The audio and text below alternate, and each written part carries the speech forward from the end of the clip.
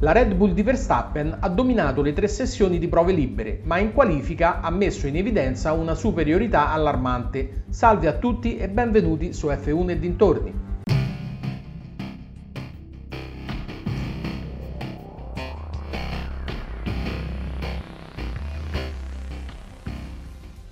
È evidente che il circuito di Spa si adatta benissimo alla RB18 e alla sua grande efficienza aerodinamica, che per tutte le sessioni di prove libere ha dimostrato di essere favorita sin da subito, sia sul giro secco che sul passo gara, grazie alla capacità di progetto di Adrian Newey di mandare molto velocemente le gomme nella corretta finestra di funzionamento.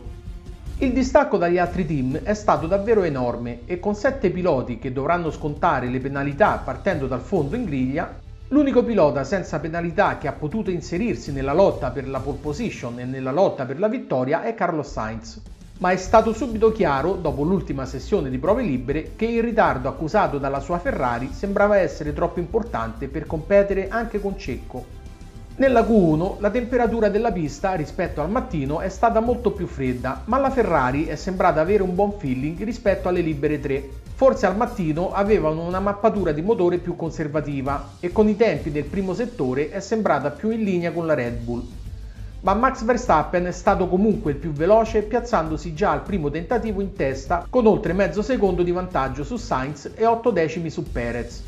Tra gli esclusi c'è anche Valtteri Bottas che è uno fra i piloti a dover partire dal fondo e ha preferito fare pochi giri per preservare il motore e passa invece alla Q2 uno strepitoso Alexander Albon che dopo un anno di assenza dalla Formula 1 si ritrova con una macchina che non è certo la stessa che ha lasciato. Nella Q2 lo scenario è pressoché identico, Verstappen e Perez hanno fatto fermare il crono su tempi inarrivabili per tutti e la Ferrari ha tentato di fare gioco di squadra con Leclerc che ha offerto la scia a Sainz, ma il ritardo su Max che ha girato con gomma usata è di quasi 7 decimi, Leclerc si è lamentato di una monoposto che salta stranamente come impazzita sui cordoli delle curve lente. Le Mercedes hanno sofferto molto nei confronti dell'Alpine che si mette in evidenza con Ocon e la McLaren, ma le Mercedes, grazie anche al miglioramento della pista, sono riuscite a sopravanzare le Alpine, solo che Alonso non subirà alcuna penalità al contrario di Russell ed Hamilton. Anche Leclerc è riuscito a fare meglio delle Red Bull, ma Max e Cecco non sono usciti per un secondo tentativo. E ancora una volta è riuscito a passare alla Q3 Alexander Albon in decima posizione dopo aver preso la scia e essere stato velocissimo nel primo settore.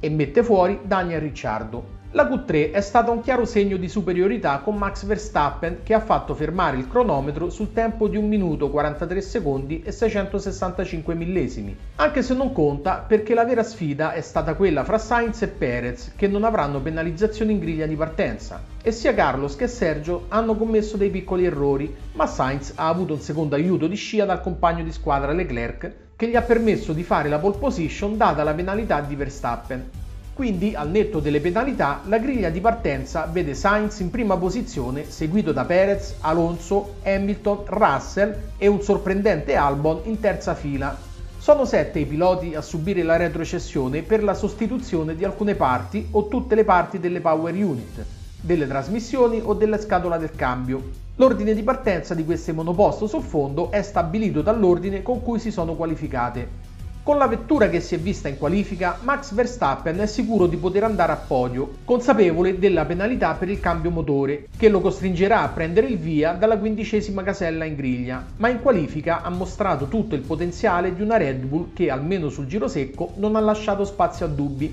essendo l'unico pilota a scendere sotto il muro dell'1.44.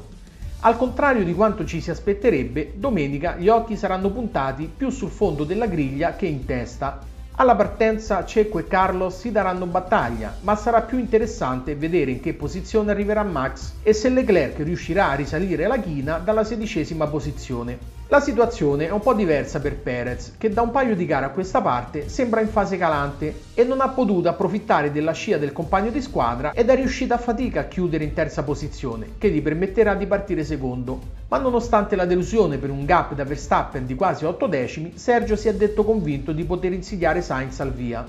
Partendo sedicesimo, Charles Leclerc si sente fiducioso, anche se il distacco dalla Red Bull è allarmante, ma sarà ancora una volta accanto a Max Verstappen sulla griglia di partenza del Gran Premio del Belgio, con la sola differenza di non essere in prima fila ma in ottava. Il pilota della Ferrari, consapevole della penalità, però ha lavorato sulla sua F175 soprattutto in ottica gara. Forse le temperature basse hanno favorito la Red Bull che è riuscita a mettere le gomme nella giusta finestra, ma Leclerc, dopo aver detto che ci sono state anche situazioni in cui sono stati forti in queste condizioni, il divario non è mai stato così grande dall'inizio dell'anno. La rimonta sembra possibile, c'è ottimista da parte del Monegasco, perché in confronto alle altre squadre le rosse hanno dimostrato di essere la seconda forza con un buon margine, ma il rammarico sarà quello di non poter battere la Red Bull, perché non si parla di due o tre decimi, ma ben sette. Approfittando della penalità di Max Verstappen, Carlos Sainz partendo dalla pole position dovrà sin da subito allungare su Perez e cercare di non commettere errori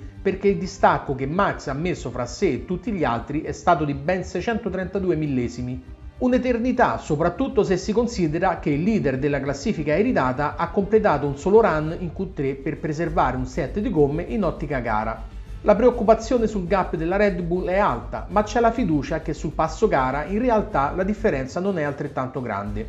Io vi saluto e vi do appuntamento al prossimo video e come sempre non scordatevi di lasciare il vostro like e di iscrivervi al canale. Ciao!